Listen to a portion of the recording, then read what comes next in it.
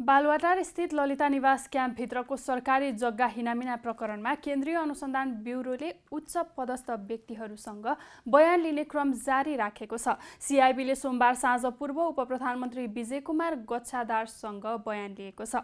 अनुसन्धान अधिकृतहरूले गच्छादारसँग महाराजगञ्ज स्थित सिआइबीमा बयान लिएर छाडेका हुन्। पूर्व उप प्रधानमन्त्री विजय कुमार गच्छादार विरुद्ध अदालतबाट पक्राउ पूर्जी नै जारी भएको छ तर प्रहरीले उनलाई बयान लिएर छाडिदिएको छ। सोमबार नै अनुसन्धान प्रतिवेदन बुझाउने तयारी गरिएपछि पूर्व मन्त्री चन्द्रदेव जोशी र गच्छाधारको बयान गराउँदा ढिला भएको सिआइबीका अधिकारीको भनाइ छ। सङ्गठित रूपमा सरकारी लिखित कृत्य गरेर बालुवाटार क्याम्पभित्रको एक सय सडचालिस रोपनी जग्गा हिनामिना प्रकरणमा गच्छाधार संलग्न रहेको सिआइबीको अनुसन्धानको निष्कर्ष छ।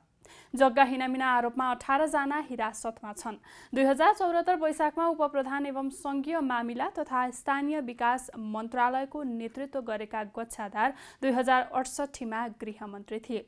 भौतिक योजना तथा निर्माण मन्त्री हुँदा गच्छाधार जग्गा हिनामिना प्रकरणमा संलग्न देखिएका थिए। गच्छाधारसँगै राज्यमन्त्री थिए सञ्जय शाह टक्ला। दुई हजार छिहत्तर पुसमा सिआइबीले गृह मन्त्रालयमा बुझाएको छानबिन प्रतिवेदनले सरकारी लिखित कृत्य मुद्दामा उनीहरूलाई कारवाहीको सिफारिस गरेको थियो।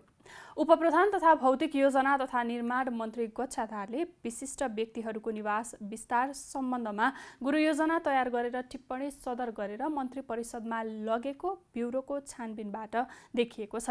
दुई हजार सडसठी असार अठाइसमा भौतिक योजना तथा निर्माण मन्त्रालयको सचिव दीप बस्नेतले टिप्पणी सदर गरी मन्त्री गच्छाधार कहाँ पेश गरेका हुन्? सो प्रस्ताव राज्यमन्त्री सञ्जय शाह र उप प्रधानमन्त्री गच्छाधारले सदर गरेर मन्त्री परिषदमा लगेका थिए।